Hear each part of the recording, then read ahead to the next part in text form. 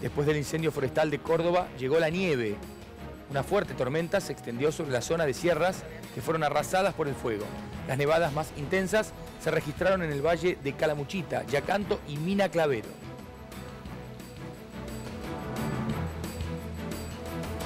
Del fuego a la nieve, de los 40 grados a las temperaturas bajo cero. El lunes pasado veníamos a esta zona alta de Calamuchita a cubrir el incendio que destruyó viviendas como esta. Hoy nos trae la nevada que intenta apagar los últimos rastros del infierno que aún siguen humeando.